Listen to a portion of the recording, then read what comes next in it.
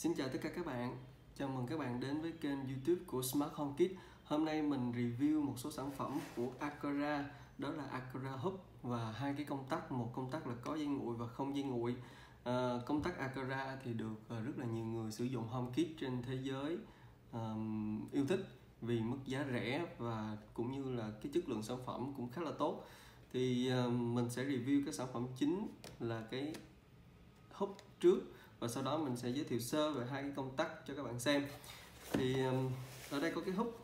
Cái hút này là cái hút uh, sử dụng sóng Zigbee để kết nối với lại các cái thiết bị con.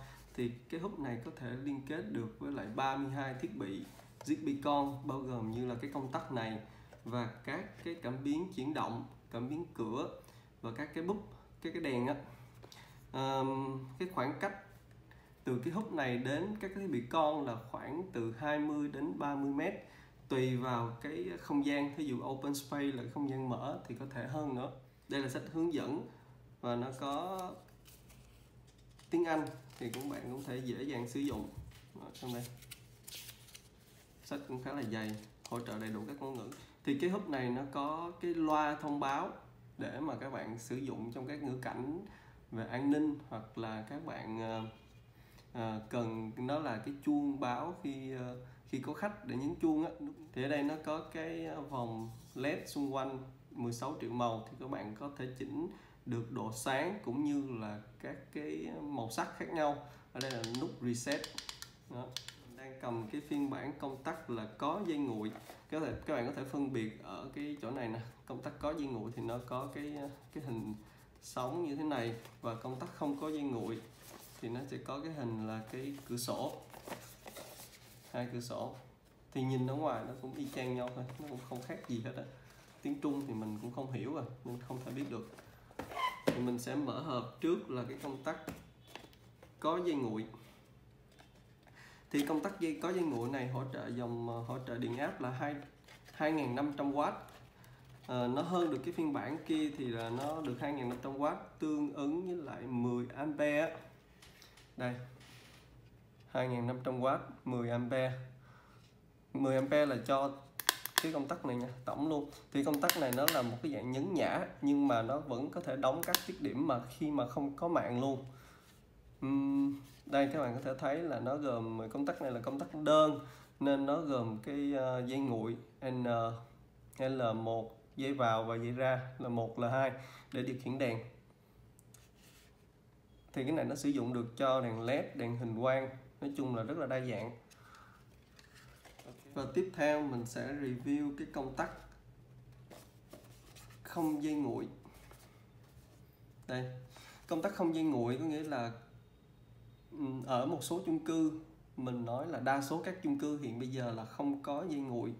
Trừ những cái chung cư mới hoặc là những cái nhà cải tạo thì để đảm bảo thì chúng ta đi dây nguội tới cái ờ, công tắc thì có thể có.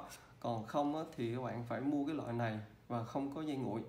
À, loại không dây nguội này thì nó chỉ hỗ trợ 800W thôi. So với cái công tắc mà có dây nguội là nó là 2500W đó là cái ờ, hạn chế cũng khá là lớn. Ngoài ra thì cái công tắc tối thiểu của cái light đèn mà các bạn điều khiển là phải trên 3W dưới 3W thì cái đèn nó sẽ bị chớp chớp và không có ổn định thì đó là cái điểm hạn chế à, như mình thấy thì cũng rất là nhiều người xài công tắc này và nó cũng không có gặp vấn đề gì về cái ờ, cái cái cái, cái tải tất cả em nè đây là công tắc có dây nguội và công tắc không dây nguội các bạn có thể thấy không đó cái này là có dây nguội có n và không dây nguội thì các bạn có thể đấu trực tiếp vào luôn trong cái công tắc hiện hữu của mình nó hoạt động rất là tốt đó nha cũng ổn đấy 等待连接中，请打开 APP。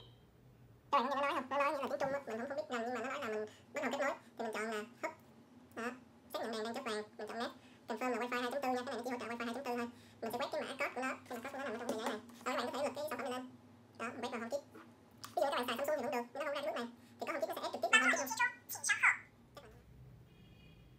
Đây nó đã nhận biết được cái hub rồi.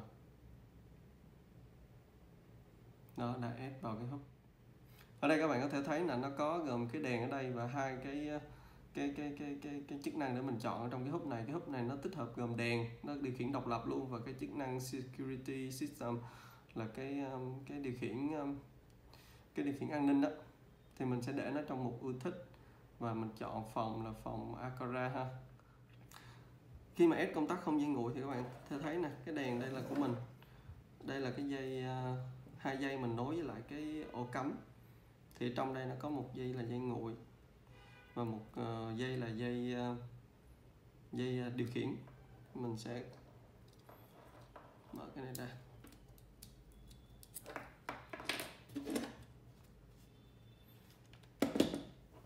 Đây là công tắc không có dây nguội. Các bạn để ý ha mình cắm trực tiếp vào trong cái nguồn này luôn. Đắp xong rồi. Thì bây giờ mình sẽ cắm nguồn vào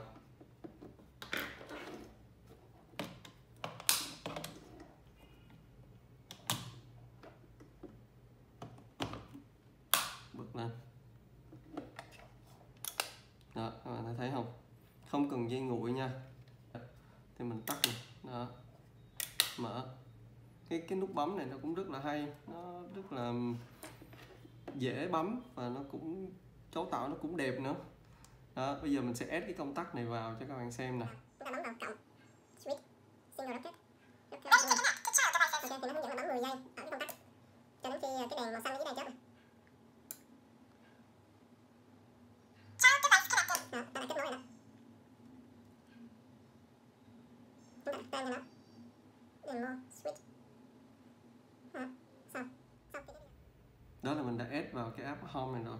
Thì chúng ta có thể bật tắt ở trên cái app home này bằng ứng bằng Siri hoặc là tạo các cái ngữ cảnh ở trên đây. Bật. Tắt thấy không?